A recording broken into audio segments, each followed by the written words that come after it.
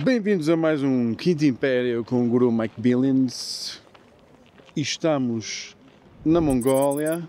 Uh, não sei se vocês alguma vez viram isto aqui. Quem souber o que é esta cena, meta no comentários. Vim a este país para ver como é que é. Eu gosto de desertos, parece que tem pouca densidade populacional. Acho que tem 3 milhões e meio de pessoas, 1 milhão e meio de quilómetros quadrados, ou seja, basicamente é 17 vezes maior que Portugal. Parece que 30% das pessoas uh, ainda têm uma vida de nómada, tem lógica, vir aqui o nómada, e, um, e vivem numa espécie de uns, cabanas e mudam de 3 em 3 meses, acho que por causa dos animais. A primeira coisa que eu queria dizer era falar sobre a questão do Quinto Império. Eu tenho recebido basicamente já pai mil e-mails de pessoas a dizer ai e tal, guru, como é que se entra para o Quinto Império e tal, sei que mais. Pessoal, nós ainda andamos a fazer cenas, calma. A ideia do Quinto Império é fazer uma comunidade onde tu adquires conhecimentos e conhecimentos, não é? Conhecimentos de pessoas e conhecimentos de informação. E depois vamos desenvolvendo a partir daí, basicamente junto ao pessoal todo. Portanto, eh, o pessoal tem ter um bocado de paciência. Eu vejo os e-mails assim por alto, mas responder é impossível, como é natural. Assim que as coisas estiverem organizadas, eu começo a partilhar informação, mas eu quero fazer tipo um sistema de, de convite que é membros existentes vão convidar outras pessoas e serão beneficiados ou penalizados consoante o valor que essas pessoas trazem. Se trouxeres um membro que não serve para nada, vais ser penalizado. Se trouxeres um membro super produtivo, vais ser beneficiado seja uma percentagem de benefício e tal, coisa assim. Tem aqui o estátua. Uou, let's go! Depois, vimos que não conseguimos chegar a algumas pessoas estão super interessadas. Vamos ter que arranjar outras metodologias, mas eu acho que rapidamente chegamos. Agora, o mais importante é tecnologia, informação, organização e partimos daí. Enquanto assistimos aqui aos mongóis a tirar fotos, o pessoal perguntou-me se o Wikipedia é uma cena tipo maçonaria ou assim. Eh, não, eu acho que assim, todas as organizações têm as suas vantagens e desvantagens e para operarem durante tantos anos é porque funciona, é porque é fixe. Portanto, tem coisas interessantes, tem coisas interessantes. Mas não, não é uma, o objetivo daqui é fazer uma estrutura uh, diferente, tecnologicamente superior. Fica fixe assim com a voz dele, não fica? Aqui é o nosso amigo. 15 minutos a tirar fotos. E outra cena que acho interessante da quantidade de e-mails que tenho recebido é tipo a quantidade de pessoas interessadas que estão fora de Portugal. Que essas pessoas é que devem sentir mais uh, realmente essa cena. Ali com o Kanji Scan. Uh, é mais fixe quando estás fora, porque ser um grupo fixe e tal, é capaz de ser uma cena que tem boa lógica, portanto recebi de todo mundo. Portanto, esse pessoal, se calhar por contactos não vai ser tão fácil, vamos ter que arranjar outra solução. Portanto, pessoal, não se esqueçam, para fazer perguntas sobre, querem ver, tipo, respondidas, seja sobre a vossa vida, casos concretos, meu, o Guru ajuda neste programa sobre cenas do Quinto Império. Quando for para as coisas estiverem mais organizadas, eu passo a informação de como é que vai funcionar. Por isso, escuso-me de continuar a enviar e-mails a dizer ah e tal, não quero entrar, não sei o que mais. Portanto, seria um bocado essa a cena, para, não, para também não ficar com a caixa cheia, cheia, cheia de e-mails. Sim, perguntas concretas sobre ah, tenho este problema, tenho aquele problema, não sei o que, não sei o que mais o que é que fazias nesta situação, o que é que fazias naquela, não, porque às vezes uma certa dicasita resolve muitos problemas. Já vi várias vezes as pessoas dizerem, ah, não sei o que, aconteceu-me isto, aconteceu-me aquele outro, e, não, assim, aquela cena da desculpa, estás a ver? Eu queria partilhar uma coisa com vocês que eu acho que é um ensinamento altamente, que é, o que eu assisto muito, uh, tanto com a relação que eu tenho com os meus putos, com as crianças, como, por exemplo, com as relações empresariais e os funcionários e tudo, eu acho que há muita cena da desculpa. Ou seja, quando acontece um problema qualquer, as pessoas estão mais focadas em dizer a culpa não foi minha, a culpa foi de outra pessoa, e depois começam a discutir uns com os outros, do que propriamente em resolver o problema.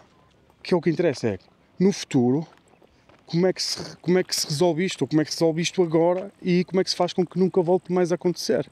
E o ensinamento que costumo dizer que é, não, há quatro situações que podem acontecer em qualquer coisa que acontece na nossa vida. Vamos simplificar.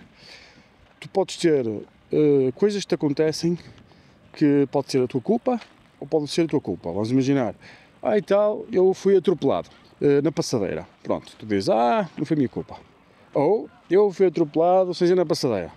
Pronto, se calhar foi minha culpa. Portanto, e depois isto desdobra-se em duas situações. Em quando a culpa é tua, tu podes assumir que a culpa é tua, ou podes não assumir que a culpa é tua. Quando a culpa não é tua, tu podes fazer a mesma coisa. Podes assumir que a culpa é tua, ou podes não assumir que a culpa é tua. O que eu quero dizer com isto é: nunca ganhas nada quando assumes que a culpa não é tua mesmo que a culpa não tenha sido tua. Há sempre uma vantagem operacional em assumir a responsabilidade. Exemplo, eu sou atropelado. A culpa é minha. O que é que eu ganho em dizer a culpa não é minha? O que é que mudou na minha vida em, eu dizer a culpa não é minha? O que, que, que, que, que improvement é que houve? Nada vai ficar ali, tipo, percebo, porque te aconteceu uma desgraça, tu não tiveste culpa, vais ficar com o efeito de vítima, não vais fazer nada pela tua vida, blá blá blá blá blá blá blá blá blá. Imagina que foste atropelado e a culpa não foi tua. E tu disseste, oh meu, vou assumir, quer lá saber, a culpa foi minha. Eu devia ter olhado na passadeira, devia ser fino, porque na passadeira o peão está sempre em dificuldade, ou seja, devia ter uh, organizado a minha vida de forma que não me expusesse àquela situação. Uh, sei lá, até não tens culpa, mas estás a assumir. Então o que é que tu vais fazer? Vais melhorar e preparar-te para o futuro, não é? É logo uma situação. Vais evitar tomar o mesmo erro. Vais, uh, se calhar, fazer improvement, ou seja, vais melhorar a situação concreta e vais-te organizar, não é? Como já tive uma vez com o Ricardo, que foi uh, que ele ficou paraplégico na praia e já estava no hospital a pensar como é que ia organizar a vida dele. Em vez de estar ali a chorar, começou logo a operacionalizar. Ele disse que importa de quem é culpa, de quem é culpa, não importa nada, não é? Uh, no caso dele, até foi culpa dele, que foi ele que mergulhou, não é? Uh, mas o que eu quero dizer é, não, o mindset, o mindset da vítima só destrói. Vamos imaginar que a culpa não é tua e tu assumes que a culpa é tua. Mais uma vez, vais melhorar, mais uma vez, vais aprender, mais uma vez, vais andar para a frente.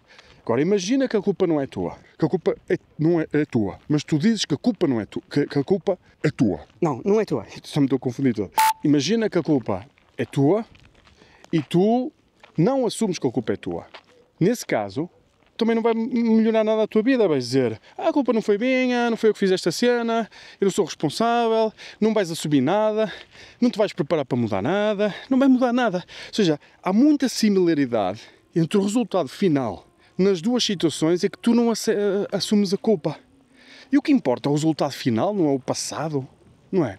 Se tu queres realmente mudar, queres melhorar a tua vida das mais variadas formas, sei lá, seja financeira, seja emocional, seja qualquer cena, meu, assume tudo. Assume. Eu digo aos meus putos, aconteceu qualquer cena. Eu faz isto porque está desarrumado. Ah, não fui eu. Eu quero lá saber. Eu perguntei-te se foste tu. Eu disse para tu arrumares, não é? E aqui é igual. Quando aconteceu alguma coisa na tua vida, não andes a procurar de quem foi a culpa. Não ganhas nada, nada, nada. Tu não vais descobrir nada, não é? A culpa é uma cena da sociedade, quando há crimes e cenas assim, para organizar e impedir que a sociedade genere no sistema. Agora, na tua vida concreta, em termos de função, em termos de trabalho, a realidade é esta. É, tu queres realmente é, assumir todas as situações que acontecem na tua vida. E não queres procurar a, a culpa, mas queres realmente progredir, evoluir, construir, aprender, independentemente da causa daquela situação concreta. É um bocado isso. Meu, vamos deixar de ser vítimas, não é? E vamos fazer aqui com o meu amigo Gengis Khan, lá como é que ele se chama, e vamos conquistar o mundo. Mindset, mudança de mindset. Mudança de mindset, pips. Não é? E eu não vou procurar quem é que é o culpado. Eu não vou procurar uh, uma desculpa. E a única coisa que vou fazer é olhar para a situação e dizer assim: como é que eu faço com que isto seja uma coisa boa? Como é que eu faço, que, faço com que isto melhore a minha vida ou das pessoas que me rodeiam? Vou dar aqui um exemplo engraçado que pode ajudar também, que é as pessoas olham para os problemas e tentam sempre, sempre, olham para uma situação e olham para aquela situação e dizem assim: isto é um problema ou uma coisa boa? E se é um problema, o que eles querem fazer é eliminá-lo. Se é uma coisa boa, querem explorar. Mas há uma forma mais inteligente de fazer as coisas. Será que há cobras aqui? Acho que me disseram que havia cobras na Mongólia. Hum. As pessoas dividem então entre ah, isto é um problema, vou diminuí-lo, vou apagá-lo. Isto é uma coisa boa e eu vou explorar. Meu, esquece esse mindset. Pensa assim, tenho aqui um problema. Como é que eu faço com que este problema afinal seja uma coisa boa? Como é que eu transformo numa coisa boa um problema? Exemplo, imagina que eu estou a construir uma casa e me aparece um pilar num sítio que me está a prejudicar um projeto. E eu, em vez de querer eliminar o pilar, eu penso assim: será que este pilar me vai estimular a pensar numa forma diferente de organizar este espaço, onde no fim até vai ficar melhor? Ou seja, eu não olho para o pilar como um problema, eu olho para o pilar sempre como uma oportunidade. Portanto, qualquer coisa que aconteça na tua vida, não é? Em vez de procurar uma desculpa, olha como uma oportunidade. Tem tudo a ver com o mindset. É? Esta palavra mindset o pessoal usa nos entre ajudas e graças, mas na realidade são pensamentos muito simples, não é? Meu, pensa como é que maximizas o futuro. Pensas como é que maximizas o resultado. E eu quando digo que as pessoas falam, falam, falam, querem as cenas, mas na realidade elas não querem porque não estão direcionadas para o futuro. Porque se tu realmente quisesses, meu, não pensavas na tua personalidade, não dizias cenas do tipo, ah, eu sou assim. Meu, eu quero saber como é que tu és. Eu quero saber como é que eu sou.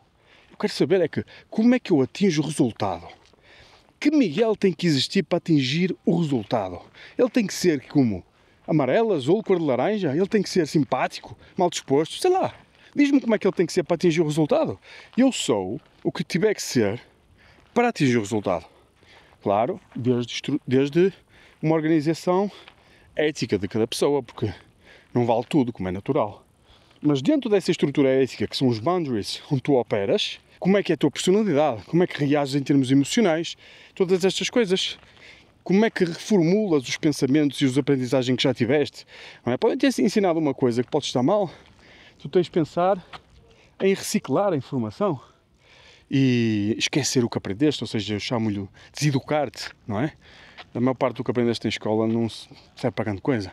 Isto são coisas que sacas da internet, não é?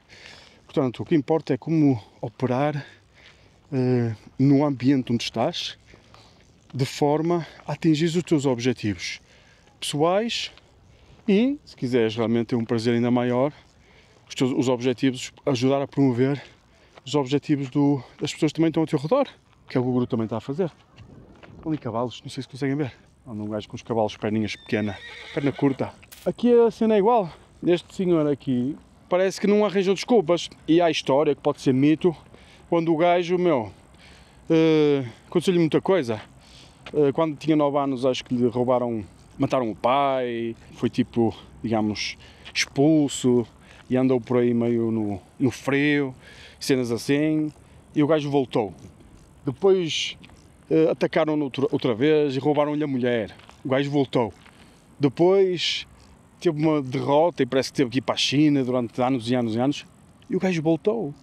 Ou seja, ele não andou à procura de desculpas. Ai, que aos 9 anos, já viste como é que me aconteceu? Ah, bah, bah, bah, bah. ah depois roubaram uma mulher, não sei o que mais. E depois aquela vitória. E diz, ah, eu tive azar naquele momento. E o gajo, não, o gajo voltou. O gajo tinha mindset de conquistador. E a cena é assim, pips. Portanto, isto é a mentalidade do Quinto Império. Não é paconas, como se diz lá em Braga. E, meu, seguimos em frente.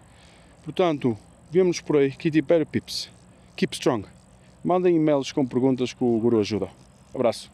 E não se esqueçam, o e-mail é viaimpério.gurumikebilance.com Off.